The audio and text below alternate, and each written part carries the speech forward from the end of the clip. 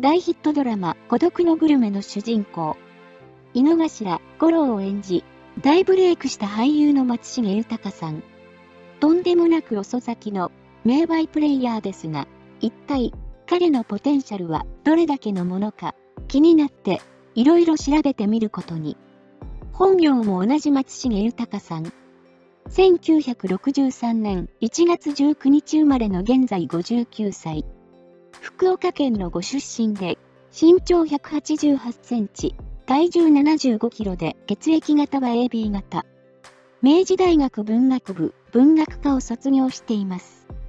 父親は酒癖が悪く、まるで、巨人の星の星一徹のように、ちゃぶ台をひっくり返す人だったそうです。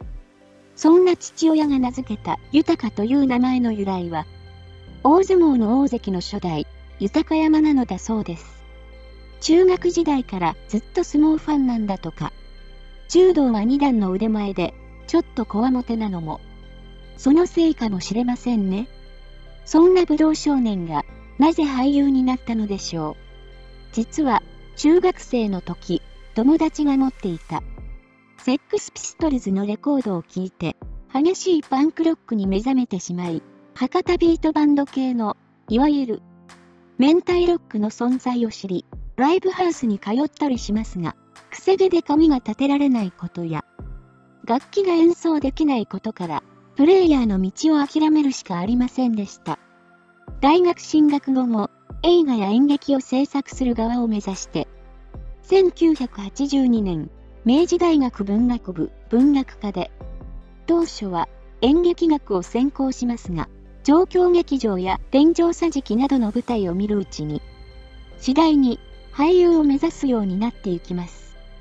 そして、1983年、新宿の小劇場、スペースデンで初舞台を踏んだ後、ある人物によって転機が訪れます。その人物とは、今や知らぬ者がいない脚本家の三谷幸喜さん。彼が主催する東京サンシャインボーイズの作品に在学当時から参加することになったのです。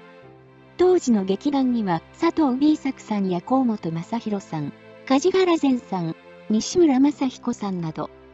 そうそうたるメンバーがいた頃でした。1986年、大学卒業と同時に、劇団蜷川スタジオに入団して活動。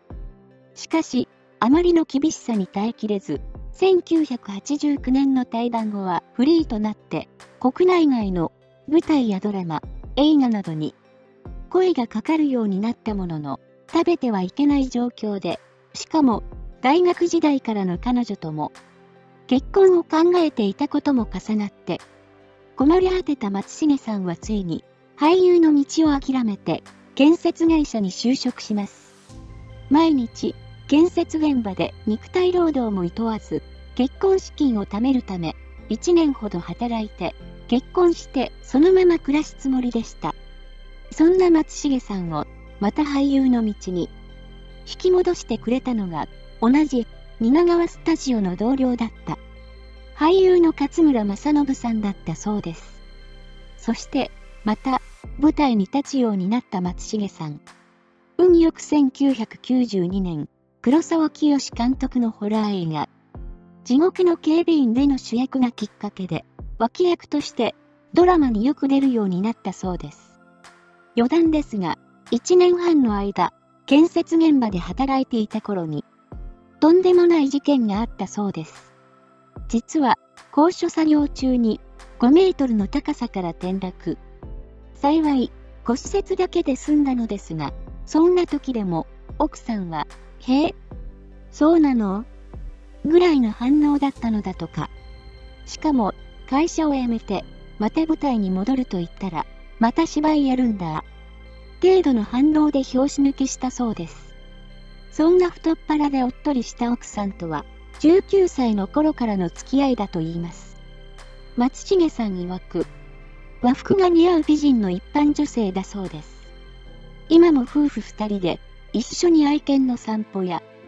家庭菜園を楽しむほど夫婦円満だとか。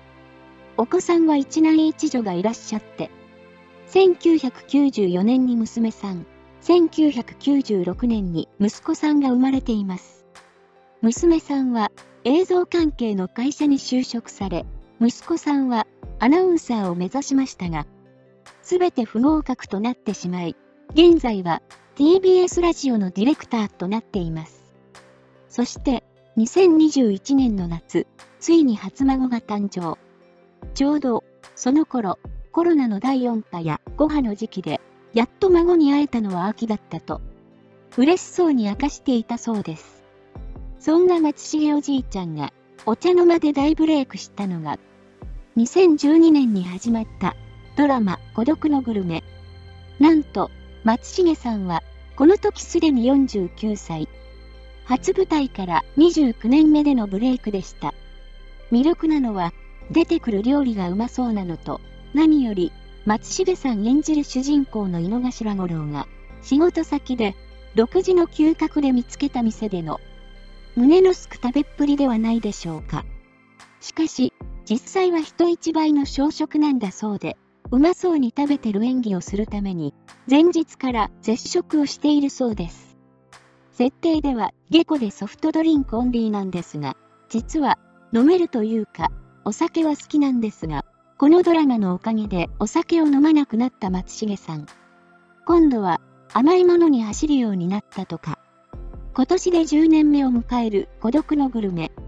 最近ではスタッフが松重さんの健康を気遣って食べる量をセーブしてくれて助かっているそうです。そんな松重さんのこれまでの人生の中でも一番大切な出会いはリンダリンダで有名な伝説のバンドザ・ブルーハーツの河本博人さんとの出会いだそうで、河本博人さんと松重さんは大学入学後に、下北沢の中華料理店の民店で同じ日にバイトし始めたそうで、その頃、松重さんは河本さん主役で、8ミリ映画を撮影していたこともあったそうですが、残念ながら未完成に終わったようです。見てみたかったですね。2013年の土曜スタジオパークで、松重さんは河本さんから、羨ましいほどの手紙を受け取っています。10代の僕らが仲良くなるのに、時間は必要ありませんでした。僕は、バンド、豊は芝居の道を、歩き始めたばっかりでした。あの頃の下北沢の、永遠に続くかのような時間は、今というこの場所につながっているのだろうか。こうやって豊かに手紙を書いていることも、同じ物語のワンシーンなのだろうか。そして、あの時のあの場所がスタートだったとしたら、ゴールはどこなんだろうか。30年経った今も僕はバンド、豊かは芝居に明け暮れています。そう、ちっとも変わっていません。これからもずっと変わりそうにありません。もしかしたら、あの時僕らはすでに夢を叶えていたんじゃないだろうか。そう思ったらとても会いたくなりました。飲みましょう。宝物のような言葉が詰まった手紙ですね。実は、昔から音楽に関わる仕事がしたかった。松重豊さん。53歳にして、その夢を叶えたのが、松重さんがパーソナリティを務める、FM ラジオ深夜の音楽食堂でした。もちろん初回ゲストは、河本博人さんだったのは、言うまでもありません。さて、ドラマや映画で主演も務める、名バイプレイヤーの松重さん。松重さんの年収は1億円という噂ですが、本当なのでしょうか。2021年を簡単に検証してみると、7本のドラマに出演していて、1話150万円として、60話で9000万円、映画は1本100万円で2本で200万円。テレビ出演は1番組10万円で40万円。CM1 本1500万円が4本で6000万円。事務所との配分を松重さん3割として、松重さんの年収は4572万円となります。それに松重さんは3年ほど前に、まさに孤独のグルメ御殿と言える60坪ほどの2世代住宅を都内に建てて、絶対一人にはさせないと、一人暮らしの母親を呼び寄せています。いかがでしたか？あなたはどう思いますか？大人気の孤独のグルメシリーズも、松重さんが今だからこそやりましょう。大変な困難と戦う飲食店の助けに少しでもなりたい。といったことで第9弾が撮影されました。松重さんにとっては他とは一線を画した大事な作品であることは間違いありません。朝の連ドラカムカムエブリバディのルイの娘の日向編では時代劇好きの彼女の師匠、ファン・キョムゾーという元欧米俳優を演じます。自らが遅咲きだった松重さんがどう演じるのか、楽しみでなりません。これからのご活躍を陰ながら見守りたいと思います。それではまた次回お会いしましょう。